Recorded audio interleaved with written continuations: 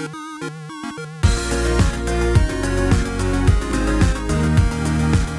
everyone, welcome back to another Anime Kingdom review. See by title below, yes, this is on episode 5 of Boruto, and this episode we get introduced to Mitsuki, to which before this episode I didn't really know anything about him.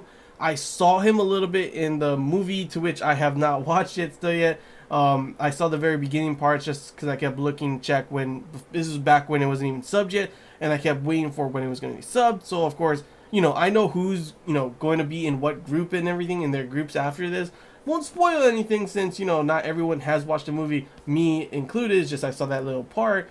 But I don't really know much about Mitsuki. I just wasn't as surprised to see him because I did at least see how he looked, you know, in the the movie part. I just don't know about where he came from, what his moves are, and all that kind of stuff. Until finally in this episode we do get introduced to him, to which he's I don't know, like just from what we've seen in this episode so far already, he's from the Sound Village. He has like his movement and everything is snake-like. It's like a snake, you know.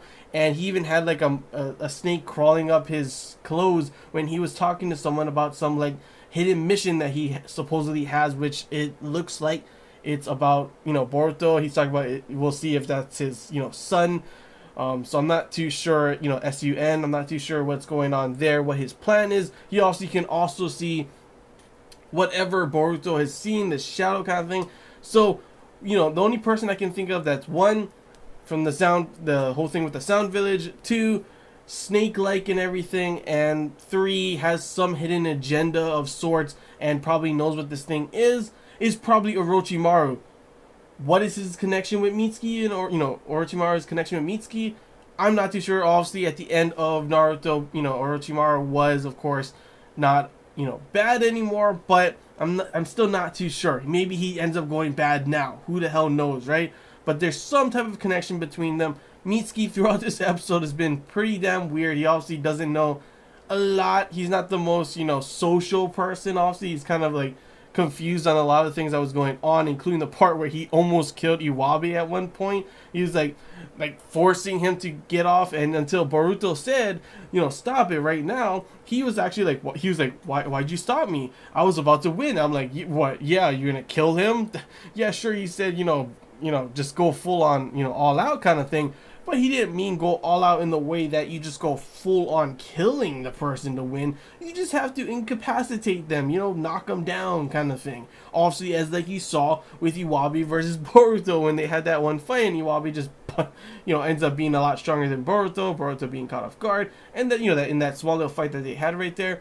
And that was it. So, I mean, he's supposed to be smart. He had like he was able to solve that one problem and everything, and he knows a lot of other things and I don't know, he's just not the most social person, obviously. So it would make sense that he also came from Orochimaru because obviously I'm pretty sure Orochimaru isn't the most social person as well. He's pretty damn weird as we've seen in Naruto and everything. So it would make sense. Like I said before, I don't know the exact connection, but maybe they'll, you know, show it later on, several episodes later. But the big thing about it th- about him and everything was the fact that he can see that shadow. He knows of the shadow that Boruto can see, and he said, "Oh, so you can see it." So he obviously has been following Boruto. He's trying to get close to Boruto. So there's something to do with this shadow. Still not really exactly sure. Boruto seems to his eye just every time he sees someone with that you know shadowy thing. We still don't exactly know what heck it is. Hopefully you know, in the next episode, Mitsuki will explain it if he does know anything about it. But every time he sees it, Boruto's eye instantly changes and then changes back. So I'm not too sure if it's like a self-conscious thing that he's able to use that eye technique. And when he does do it, is it does he control when to turn it off? It just like appears one moment, disappears the next moment. So it, it's still huge. Uh, like probably the biggest thing right now at the moment is the whole shadowy thing and Boruto's eye, and now of course the mystery behind Mitsuki that is going on in these episodes. The other part of the episode, of course, was man. I swear Shino is completely different. I talked about this in the last episode, but Shino is so different from how he was in Naruto.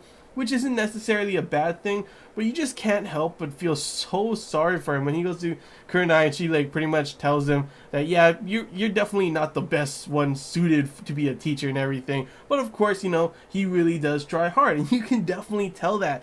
And he wants everyone to accept him and listen to him and all that kind of stuff.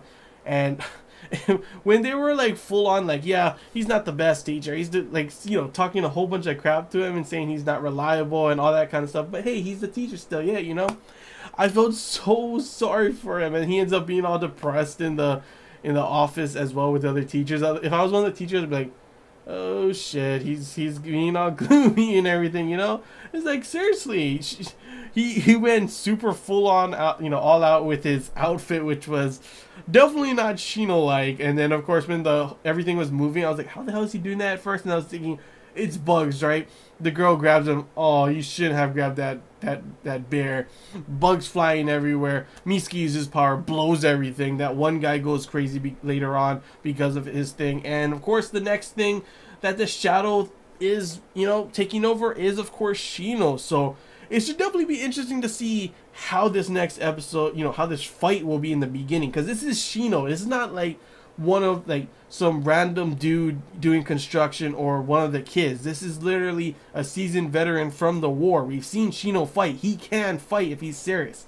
So I don't know how the hell Boruto, Shikadai, and you know Mitsuki are is gonna be able to take him out, but it should definitely be interesting. Probably like Mitsuki has some sort of way that he knows about this shadow thing and he'll be able to take it out.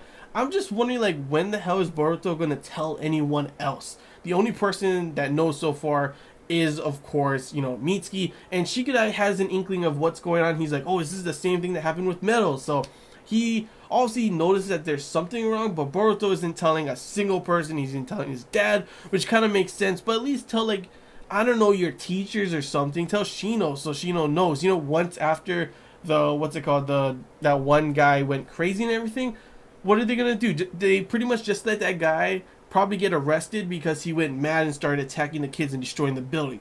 They didn't say anything like this happened before, you know, um, this happened to Metal, this happened to Denki. They weren't really all in their mind. There's something going on. Boruto can see the shadowy form or something. Why doesn't he say anything? I'm pretty sure that guy's gonna get in real big trouble for what he did for attacking, you know, children and also attacking, you know, destroying federal property is what it's pretty much is. So yeah, I don't know what's going on there if Boruto's gonna finally explain the next one, but I am honestly excited for the next episode because it. Come on, if it's got Shino going serious mode like practically like before, it's probably going to be a pretty crazy fight. To which I am definitely excited for, and probably like I said, we'll get more info on everything else with the Shadow Form and Mitsuki as well.